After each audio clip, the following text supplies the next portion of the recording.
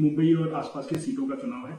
आपका आकलन महाराष्ट्र के चुनाव और देशभर के चुनाव के बारे में अब तक क्या है? हम इससे शुरुआत करना चाहते देखिए जहाँ तक महाराष्ट्र का सवाल है, मैं ऐसा मानता हूँ कि चार चरणों के मतदान के बाद हम लोग बहुत सेटिस्फाइड है, संतुष्ट है।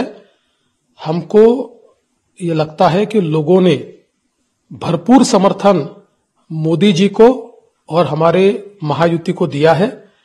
और पाँचवें चरण में मुंबई में तो मुंबई करके मन में मोदी जी है। इसलिए मुंबई कर तो मोदी जी के साथ ही जाएँगे तो पांचवा चरण तो हमारे लिए सबसे अच्छा होगा। सर पिछली बार इकतालीस बयालीस सीटें एनडीए के पास थी इकतालीस आपकी और एक निर्दलीय। इस बार इकतालीस बयालीस का आंकड़ा आप छू पाएँगे कि नहीं सबके मन में ये सवाल। आपने कहा है कि इकतालीस सीट आएँगे लेकिन जो लोगों के मन में दुविधा आ रही है उसके कारण क्या देखते हैं? क्यों लगता है? नहीं मुझे नहीं लगता कि हम लोग नीचे जाएँगे। हम लोगों ने जो हमारा देखिए 2014 और 2019 में जो इस प्रकार से हमने परफॉर्मेंस किया है, वही परफॉर्मेंस हमारा 2024 में भी होगा। सर 2014 और 2019 के बाद से स्थितियाँ काफ़ी बदल गई। खासकर 2019 के बाद से तीन अलग अलग समीकरण राजनीति के देखे हैं महाराष्ट्र लेकिन कभी उसका इलेक्टोरल टेस्ट नहीं हुआ, कभी कोई चुनाव नहीं हुआ। तो लोगों के मन में एक संभ्रम है कि जो नया गठबंधन बना है, नेता साथ में आ गए, क्या उनके मतदाता भी उनके कहने पर उनके सहयोगी पार्टियों को, उनके कैंडिडेट्स को वोट करेंगे? आपने पूरा चुनाव देखा है, आपने मैनेज किया है तो मतदाता के मन में क्या वोट ट्रांसफ़र की भावना है एक दूसरे अलाइज पार्टी के लिए? देखिए, कभी भी हंड्रेड परसेंट ट्रांसफ़र नहीं होता है, क्योंकि हमारे साथ शिवसेना आई है, कुछ लोग तो उद्धव जी के साथ रुके होंगे, हमारे साथ एनसीपी आई है, कुछ लोग तो शरद पवार जी के साथ रहे होंगे तो इसलिए हंड्रेड परसेंट ट्रांसफ़र तो नहीं होता है, लेकिन मैं ऐसा मानता हूँ कि अच्छे तरीके से वोट ट्रांसफ़र हुआ है, और हमारे दोस्तों का जहाँ तक सवाल है तो बीजेपी की वोट ट्रांसफ़र करने की कैपेसिटी उन दोनों से ज़्यादा है। तो बीजेपी का वोट बहुत अच्छे तरीके से उनको ट्रांसफ़र हुआ है, इसलिए मुझे लगता है कि निश्चित रूप से हमको विजय मिलेगी। सर, जब वोट ट्रांसफ़र की बात आती है तो फिर अलग अलग तरीके से लोग अपील भी कर रहे हैं। कुछ गैर राजनीतिक लोग भी हैं जो अपील कर रहे हैं कि फला पार्टी को या फला नेता को या फला कैंडिडेट को वोट किया जाए।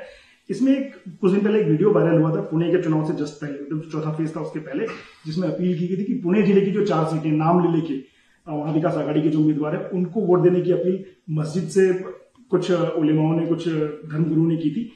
पार्टी किस तरीके से देखती है जबकि आरोप आप पे लगता है वोट के ध्रुवीकरण का? देखिए, ये पहली बार हमको ध्यान में आ रहा है, जिस प्रकार की तुष्टिकरण की नीति चल रही है, और विशेष रूप से उद्धव ठाकरे जी, जो अपने आप को पहले हिंदुत्ववादी कहते थे, वो जिस प्रकार का तुष्टिकरण कर रहे हैं, ये बहुत आश्चर्य की बात है। देखिए, एक समय था, हमारे शिवसेना प्रमुख हिंदू हृदय सम्राट बड़ा साहब ठाकरे जी अपने भाषण की शुरुआत करते थे, मेरे तमाम हिंदू बहनों, भाइयों और माताओं। उद्धव ठाकरे जी भी उसी प्रकार से शुरुआत करते थे।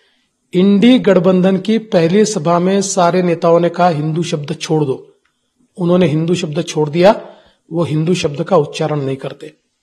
उसके बाद तुष्टिकरण की नीति यहाँ तक पहुँच गई कि अब उनकी रैलियों में अल्लाह अकबर के नारे लगते हैं और टीपू सुल्तान जिंदाबाद के नारे लगते हैं। उससे आगे ये लोग बढ़ गए।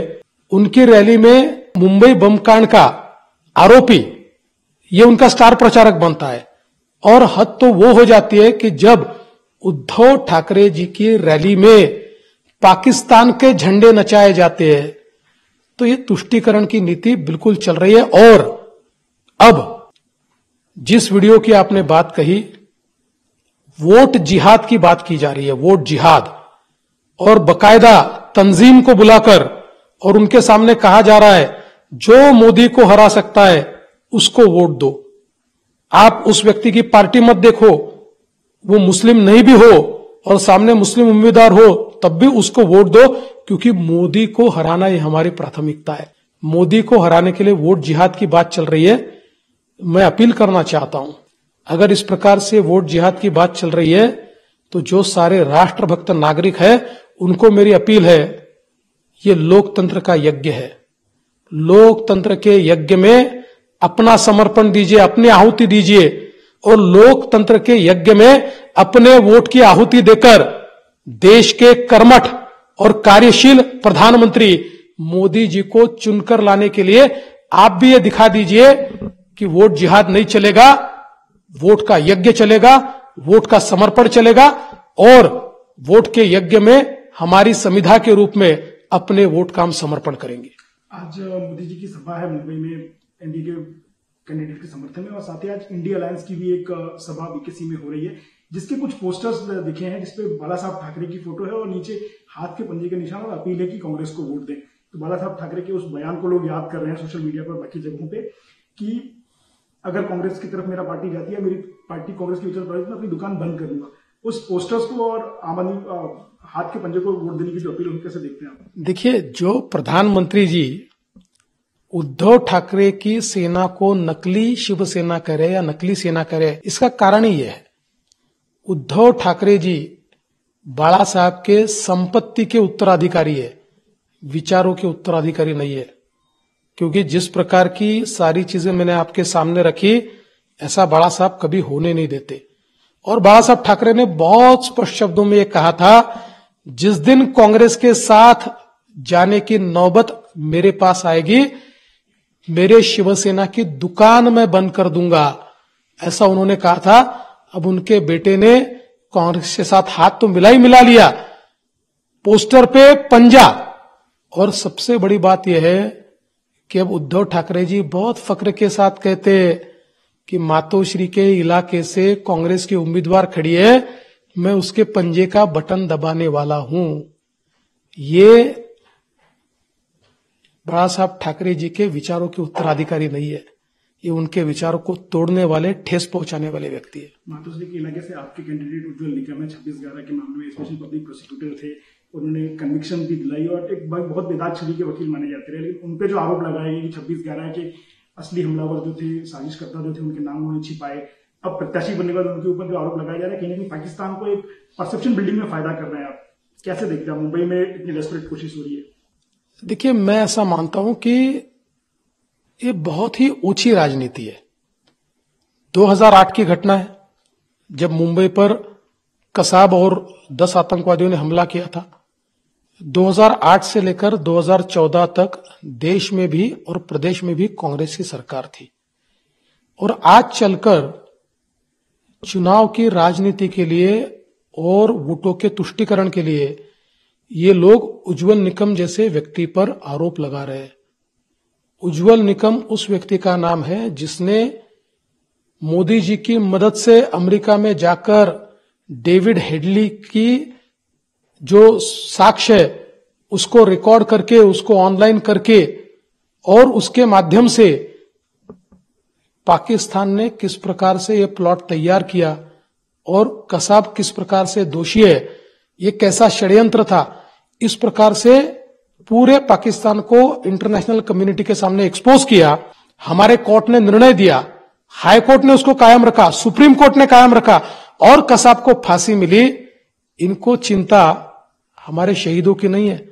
जब ये ऐसी बात करते हैं तो जिन्होंने हमारे लिए शहादत दी, चाहे वो हेमंत करकरे जी हो, चाहे वो हमारे तुकाराम उमड़े हो, चाहे हमारे कामटे जी हो, चाहे सड़स्कर जी हो इन सबकी शहादत पर एक प्रश्न खड़ा करने का काम कांग्रेस कर रही है।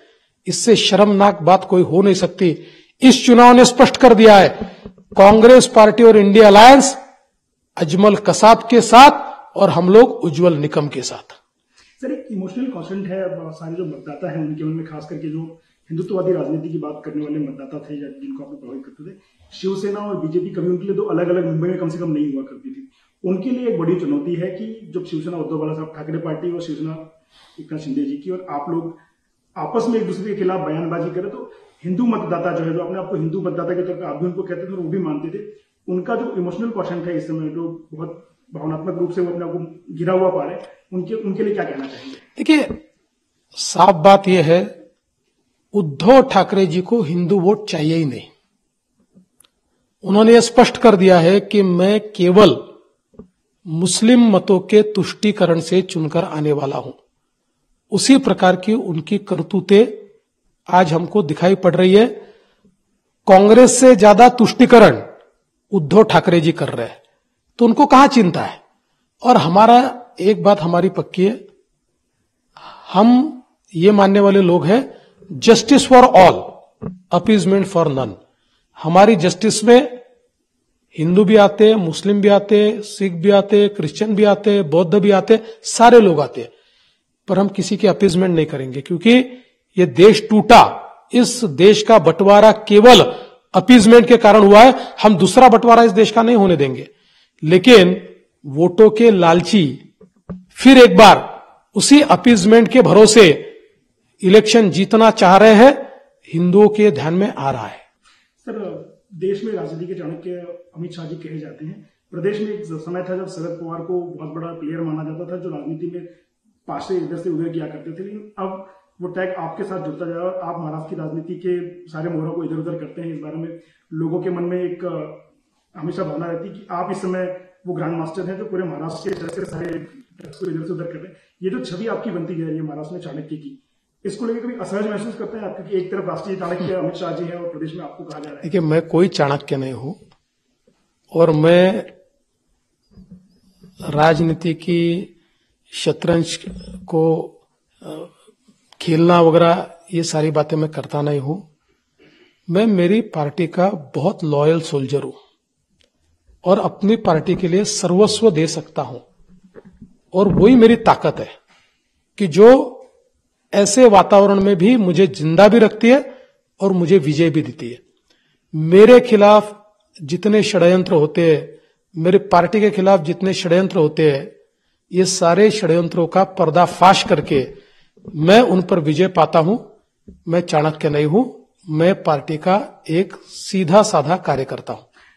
जो भी लोग आपसे जुड़े रहे हैं सालों से, कई दशकों से मुंबई के खास करके उनके मन में एक भावना थी कि जब हिंदुत्व के नाम पे शिंदे साहब आपके साथ आ ही गए थे, भाजपा भी थी, मज़बूत थे दोनों, सरकार स्थायी थी तो ऐसे में अजीत पवार को साथ लेने की ज़रूरत क्या थी? लोगों का ये मानना है कि अजीत पवार के आने से मुंबई का जो वोट है, जो आमतौर पर एंटी करप्शन का जो वोट हिंदुत्व के नाम पे आपके साथ आता था, वो अजीत पवार के आने से कहीं थोड़ा उसमें बिखराव नज़र आ रहा लोगों का ये आकलन। देखिए, सीधी बात है कि पॉलिटिक्स में जब आपको आइसोलेट किया जाता है तो उस समय आइसोलेट करने वाली ताकतों को जवाब भी देना पड़ता है। और जिस प्रकार से इंडी अलायंस हमको आइसोलेट करने की कोशिश कर रहा था और विशेष रूप से मोदी जी को आइसोलेट करने की कोशिश कर रहा था, ऐसे समय जब एनसीपी में निजी कारणों से, पारिवारिक कारणों से टूट हुई, अजित पवार जी के ध्यान में आया कि पार्टी उनके साथ नहीं हो सकती।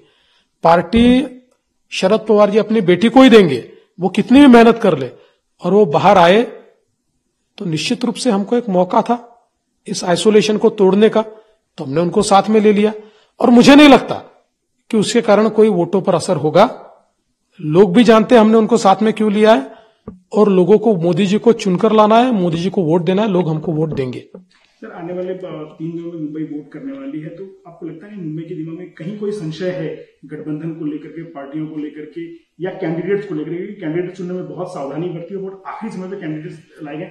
काफ़ी खींचतान देखने को मिली सीट के बंटवारे में और कैंडिडेट्स के अनाउंसमेंट में। तो वो फ़िलहाल क्या स्थिति है कैंडिडेट्स को लेकर के? खास करके उत्तर पश्चिम और दक्षिण की सीट्स को लेकर। मुंबई के दिल में मोदी मुंबई के दिमाग में मोदी मुंबई करो के मन में मोदी मुंबई करो के घर में मोदी।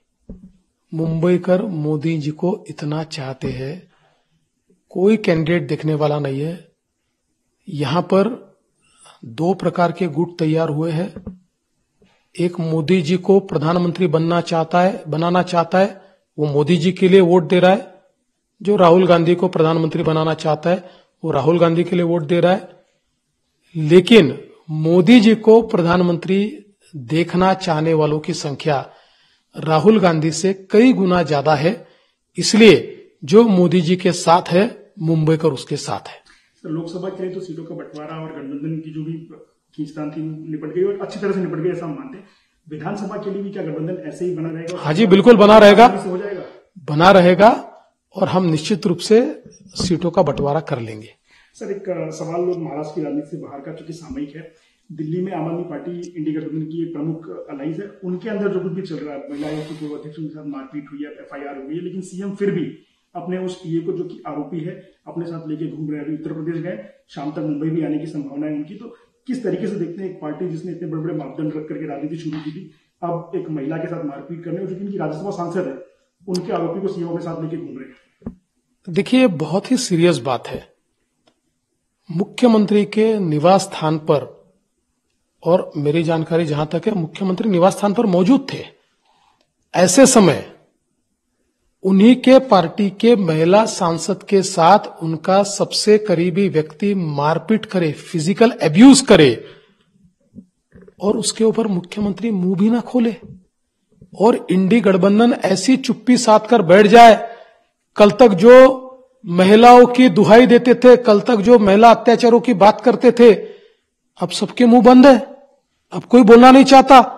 ये दोगली राजनीति है, दोगली राजनीति।